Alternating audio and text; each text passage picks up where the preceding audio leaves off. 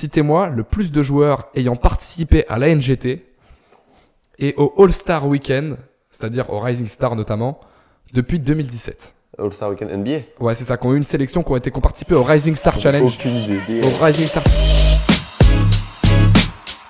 Bienvenue sur euh, l'épisode 6 d'Open Mic. Euh, on va parler à présent de l'ANGT euh, qui s'est déroulé en même temps que le Final Four de l'Euroleague.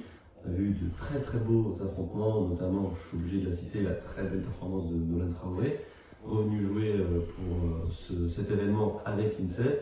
On va changer un petit peu du format du dernier euh, podcast où on avait parlé de l'événement week-end, de l'événement du week-end dans sa globalité.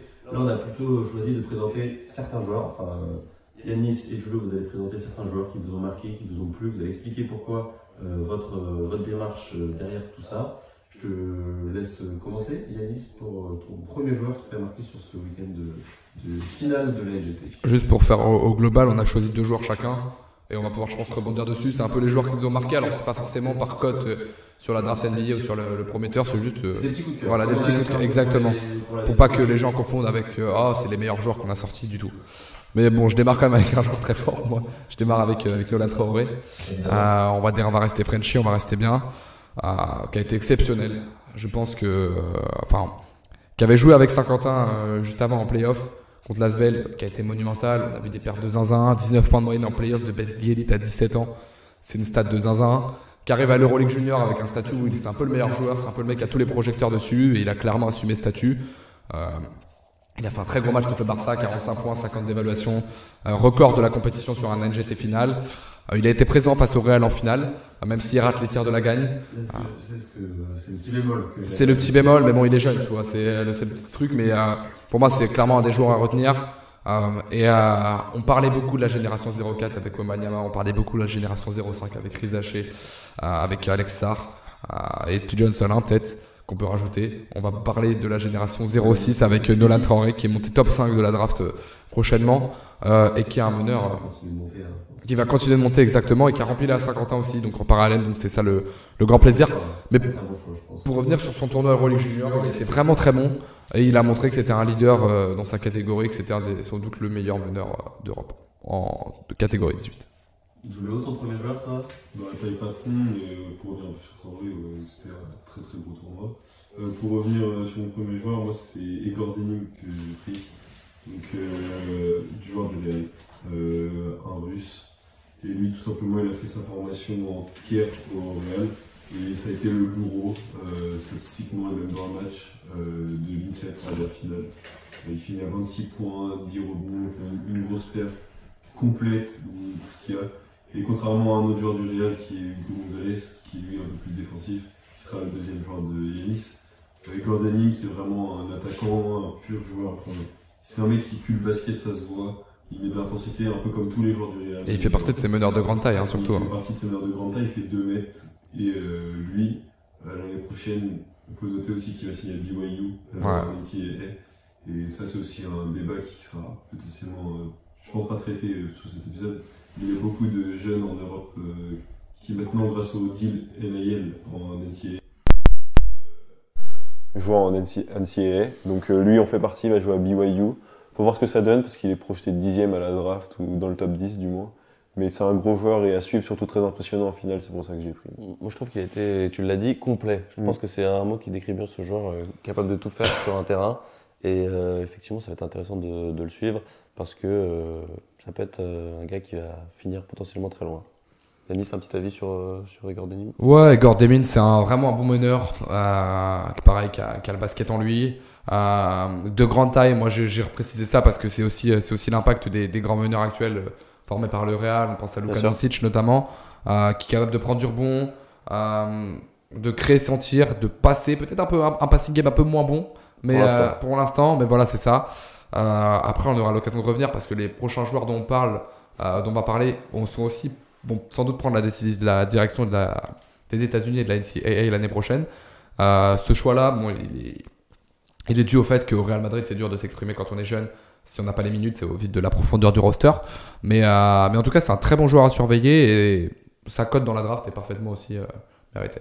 Que tu peux du coup maintenant nous parler de son coéquipier euh, du lot Ouais, voilà, parlé, moi- euh, Hugo Gonzalez. Exactement, moi je reste sur, on reste sur le, le joueur le Real Madrid.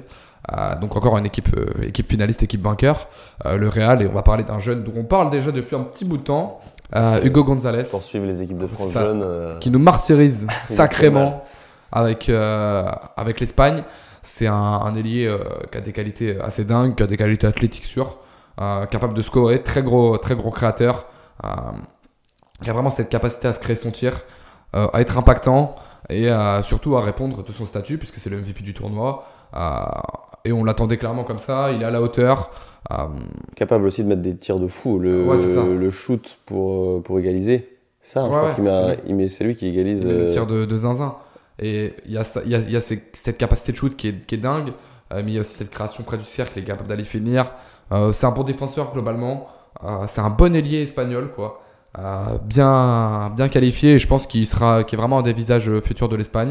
Ouais. Pareil, très coté, euh, qui a une vraie petite dynamite.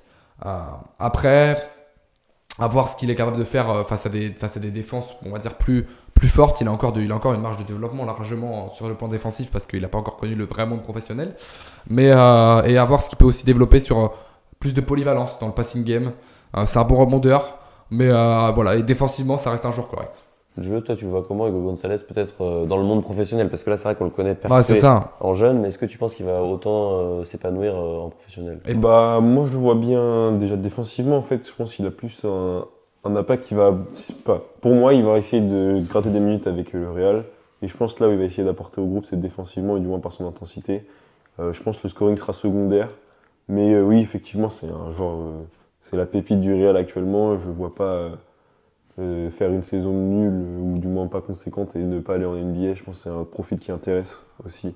Surtout parce qu'il est assez long ou quoi Enfin, il apporte dans dans les deux sens du jeu, que ce soit en défense ou en attaque. Donc pour moi, il est très intéressant. C'est la question qui se posait justement sur. euh, on reviendra, tu, tu parleras du dernier joueur qui part aussi en NCAA, Mm. mais euh, Hugo Gonzalez, c'est le choix de l'été en fait, un peu, parce qu'il a des offres universitaires en NCAA. Moi, j'ai vu passer quelques tweets sur ça. Et euh, il a aussi le choix de pouvoir rester au Real Madrid. Après, avec quelle responsabilité C'est lui qui choisira la, la meilleure chose. Euh, mais dans tous les cas, c'est vrai qu'il va falloir préparer la draft NBA maintenant. Il va falloir se lancer dans le monde pro. Euh, je compte la NCAA, la NCAA, on peut la compter dans le monde professionnel, enfin dans le monde universitaire de haut niveau. Euh, donc avec un défi physique plus, plus, plus développé. Donc à voir où il ira. Mais euh, c'est un jeune très intéressant et euh, pour l'instant il a dominé toutes ses catégories d'âge et il répond présent euh, partout où il passe. Joe, est-ce que tu peux nous présenter ton, ton dernier joueur que tu as choisi du coup? Bah, moi, mon dernier joueur, euh, joueur du Barça, Kaspar euh, Yakutionis. Donc euh, effectivement, c'est un joueur euh, taille patron euh, dans ce Barça qui était un peu plus faible que les précédentes années. Euh, moi, je ressors quand même deux noms. Donc il y a effectivement Kaspar Yakubaitis et euh, Damessar. Ouais. été deux joueurs qui ont quand même porté l'équipe euh, malgré un Mohamed d'abonnés, mais bon, qui est assez problématique.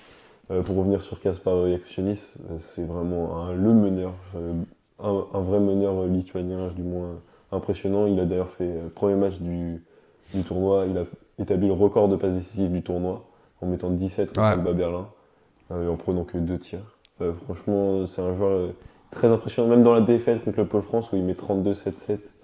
Euh, c'est un joueur qui m'a vraiment impressionné. Ok, il tirait pas mal, mais c'était dans un Barça qui était un peu à l'air décon- qui avait l'air déconstruit.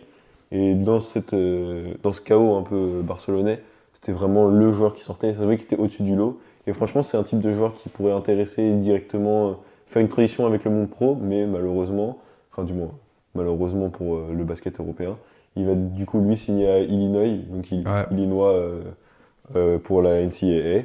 Et franchement, physiquement, je le sens prêt ou quoi que ce soit. Ouais, c'est clair. C'est pas au même niveau qu'un Hugo Gonzalez ou un Igor Denim, parce qu'il n'y a pas les mêmes euh, upside. Mais euh, effectivement, c'est un joueur qui peut être très intéressant à suivre dans le futur.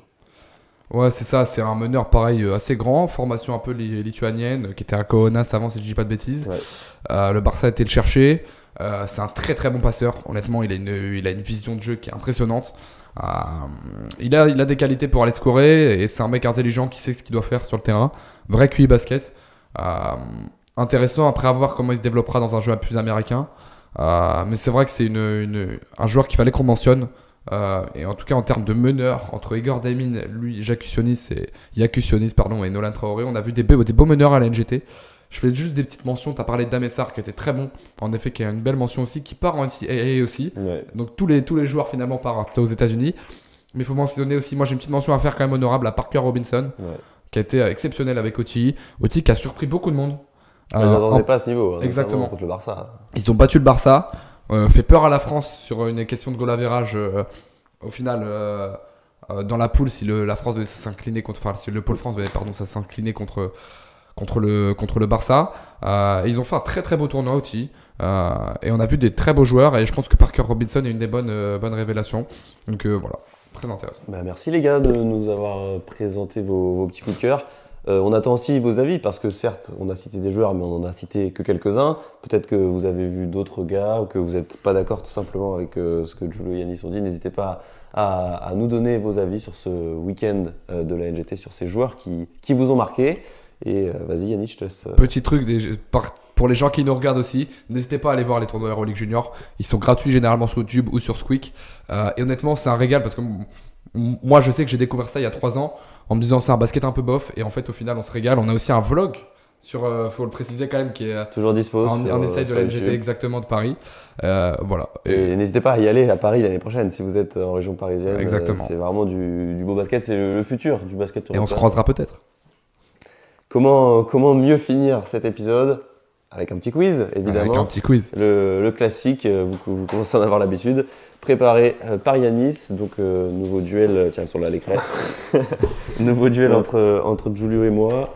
Euh, rappel des scores, Yanis a, a repris l'avantage, 4 points pour lui, 3 pour moi et 2 pour euh, Giulio. Donc balle d'égalisation, on va dire, pour, pour Giulio avec moi, et balle d'égalisation pour moi avec toi. Exactement, sachant qu'on précise quand même, euh, va y avoir une vidéo qui va sortir, un podcast, le podcast suivant, le 7, qui va sortir dans quelques jours, euh, qui sera sur le Trophée du Futur. Et du coup, j'ai prévu trois questions sur la NGT dans ce format court et trois questions sur le Trophée du Futur. On additionnera les scores sur le total des deux. Donc vous, Ah. vous saurez le résultat du quiz à la fin du podcast 7. Là, on va dire que c'est un quiz intermédiaire. Pour le storytelling, on dit en tout cas, il y a un premier suspense, on verra au prochain épisode Exactement. qui sera le grand Ren- gagnant. Rendez-vous au, au- à Open Mic 7. C'est ça, on s'inspire de Colanta dans, dans le type de, de storytelling. Euh, Est-ce que vous êtes prêts, messieurs? Let's go Trois questions. On démarre du coup. Euh, je vais vous parler de quatre joueurs. Je vais vous demander de me dire lequel de ces quatre joueurs n'a jamais été MVP de la NGT. Et quand je parle de MVP de la NGT, je parle du tournoi final. Euh, entre Dario Saric, entre Livio Jean-Charles, entre Nicolas Mirotic et Yvan Février. Je vous les refais. Lequel n'a jamais été MVP d'un tournoi final de la NGT Dario Saric, Livio Jean-Charles, Nicolas Mirotic et Yvan Février.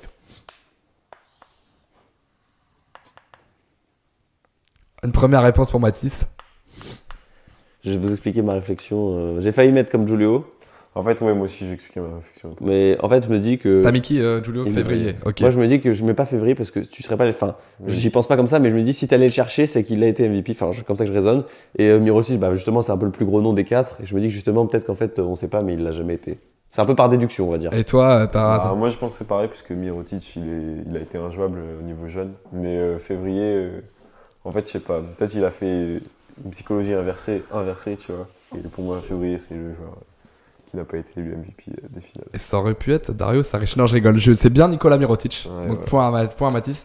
Et très, bonne, euh, très bon raisonnement. Euh, c'est vrai que c'est pour le coup, c'était un peu le, la- la- exactement ce, ce raisonnement-là. Dario Saric l'a été en 2011 à Zagreb. Euh, Livio Jean-Charles en 2010 avec l'INSEP.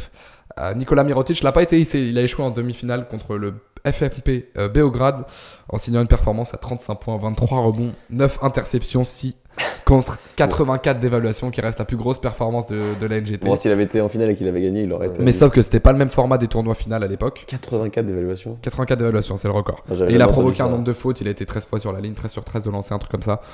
Exceptionnel. Nicolas Mirotic. Et Yvan Février, a été en 2017 lors de la dernière euh, victoire du Pôle France. Donc, euh, quand le Pôle France a remporté la NGT. Voilà, 1-0. messieurs. 1-0 pour, euh, pour Mathis, mais ça veut rien dire puisque la deuxième question arrive tout de suite. Euh, et elle est un peu dure celle-là. Euh, puisque le Real Madrid est aujourd'hui l'équipe qui est le plus titrée en Euroleague Junior, avec 5 compétitions remportées, c'est ce qui est pas mal du tout. Maintenant, je vais vous demander quelle équipe est deuxième. Et quand je vous précise que c'est dur, c'est que c'est pas une évidence. Est-ce que, est-ce que l'équipe pro est en Euroleague ou pas? L'équipe pro n'est plus en Euroleague. Petit indice. Plus, donc ils l'ont été. Si vous l'avez chez vous, n'hésitez pas à jouer dans les commentaires d'ailleurs. Je sais pas Même en, direct avec nous. Je vais le tenter. Moi, je vais mettre une équipe qui est forte en jeune. Et cette question est très surprenante. Je les connais pas particulièrement en jeune, mais c'est le fait que tu as dit plus en Euroleague. Je vais mettre Ok, CSKA on a des-. On a deux réponses. Ah, On a le Megalix, moi, parce que c'est. Megalix, c'est euh, le forts. soccer, enfin c'est méga soccer bet, c'est Lix, pareil, c'est Belgrade. Et le CSK Moscou. Et euh, Mathis, tu me surprends, t'es on fire aujourd'hui, hein. c'est bien Ouais. CSK Moscou. Et euh, je me suis même surpris à découvrir la stat. Alors faut noter quand même pour Giulio, euh, là où ça peut te foutre un petit peu le seum, c'est qu'ils ont gagné trois années de suite quand ils ont dominé en 2004, 2005 et 2006. Euh, et qu'il y a quand même, c'est donc c'est de la seule équipe deuxième. Et après, en troisième, il y a trois équipes ex aequo avec deux titres INSEP. le l'INSEP, le Ritas Vilnius, le FMP Be- Belgrade et le Zalgiris Kaunas. Ah. Voilà. Et par exemple, une équipe qu'on pourrait penser très forte comme le Barça ne l'a remporté qu'une fois. Dernière question. Dernière question. Donc Mathis a pris le lead. On rappelle, il y a trois questions, mais euh, ça jouera aussi au prochain épisode. 2-0 pour Mathis pour l'instant. Maintenant, je vais vous demander d'être fort. Va falloir écrire sur le tableau, on va dire. Citez-moi le plus de joueurs ayant participé à la NGT et au All-Star Weekend, c'est-à-dire au Rising Star notamment, depuis 2017. All-Star Weekend NBA. Ouais, c'est ça, qui ont eu une sélection, qui ont été qui ont participé au Rising Star Challenge. Aucune idée. Au Rising Star Challenge, vous devez écrire le plus de noms, c'est celui qui en a le plus qui gagne. Euh, sachant que je vous précise, j'ai été les compter, je me suis arrêté à 2017 parce que sinon c'est beaucoup trop long. Euh, Il y a 13 joueurs depuis 2017 qui ont participé à l'Euroleague Junior étant jeunes et qui ont joué depuis 2017 le Rising Star Challenge. J'en ai vraiment zéro, je pense. moi, J'en ai trois. Bon courage. Trois. Quand je, quand je jouais J'en aurai All-Star pas plus Weekend, que trois, hein, donc euh, vas-y. hein. quand je jouais le All-Star Weekend au global, donc c'est Rising Star, All-Star Game, etc. J'arrive pas à... Moi, à NBA, je j'ai pas trop les refs euh, All-Star Weekend. Pensez récemment, il y en a qui sont, il y en a récemment, il y a des visages de. Pensez des mecs quand je jouais l'Euroleague Junior, euh, qui- Ah ouais, je suis un ouf. Quand je jouais des, des grands visages quand même. Il y a quand même Wemby, il y a Wemby quand même. Il y a quand même des mecs super connus, enfin il y a des mecs, voilà. Tu l'avais mis ou pas Ok. Ah, vous allez penser, penser un petit peu européen NBA aussi, on sait jamais, voilà, c'est. Oh, j'en ai un, mais je sais pas si ça va compter. Tu peux le mettre, mets-le, mets-le, mais tout, tout est bon. Ah, mais je suis ouf, il y a Bilal aussi. Non, il a, Bilal, il a. non, il a pas fait l'Euroleague Junior. Non, bah, j'ai que Wemby, je suis trop nul. Ah, Bah, là, je- là, sur le moment venu, parce qu'après, euh, vas-y, euh, ça fait déjà une minute qu'on est sur la question. hein. Réfléchis, gros. Ouais, réfléchis, Mathis, réfléchis. Là. je Tu peux pas, tu peux pas faire deux questions, tu peux pas faire deux questions on fire et je, et je fais comme ça. Mirotic, Doncic, Jokic, Wemby et euh, Izan Almansa. Tu, donc tu valides ta réponse. Euh... Bah, Wemby, donc Wemby, vous l'avez, vous- ouais, Wem- Wemby, vous l'avez tous les deux, il est bon. Luka Doncic, logiquement. suis un Nicolas Mirotic, j'aurais pu le compter. Mais non, il est mais trop il vieux. était, c'était plus tard, Ouais, il parce que j'ai dit depuis merde. 2017. Mais euh, Nikola Jokic, c'est bon, puisqu'il a été All-Star All-Star Game. Et Issan Almansa, ça peut paraître surprenant, mais il n'a jamais joué l'Euroleague Junior. Non. J'ai trouvé les stats, j'ai été chercher, je me suis posé la question. Par contre, je peux tous vous les citer parce que dans l'histoire, il y en a, il y en a plein si on les compte. Mais depuis 2017, qui ont été All, qui ont été All-Star Weekend et qui ont euh, participé à l'Euroleague Junior étant jeunes, il y a Wembanyama, Luka Doncic, Jérémy Sochan avec Ulm à l'époque, Ouais. Deni Avdija, Dario Saric, que je vous avais cité en plus juste au-dessus euh, en 2011 avec, euh, avec Zagreb. Euh, Il y a Kristaps Porzingis. Attends, mais ça arrive. 2011, il a fait le. Ouais, mais il était à l'Euroleague Junior. Mais t'as dit après 2017. après, il a fait, deux, il a fait quelques saisons pro. Les, le All-Star Game s'est arrêté jusqu'à 2010. Ah, Ouais. ok. euh, Kristaps Porzingis, Franz Wagner, Moritz Wagner, euh, Nicolo Melli, qui est vieux mais pourtant qui a été compté comme un rookie euh, quand il a joué à NBA, Rodion Kurux, on a Domantas Sabonis, Bogdan Bogdanovic et Nikola Jokic, et voilà, ça fait les 13. Si on comptait sur les autres années, euh, ça aurait fait beaucoup. Donc, on 2-1. est sur un 2-1. Ça promet euh, toutes ses chances pour le, pour le, dernier, le prochain épisode. Eh ben, merci à tous de nous avoir regardés. Merci à vous les gars pour ce deuxième épisode plus court. On a parlé donc à NGT. Je peux que vous encourager à aller voir euh, très prochainement euh, euh, Open Mic euh, 7 qui va sortir sur le trophée euh, du futur. Merci à tous, à la prochaine. À la prochaine. Bisous.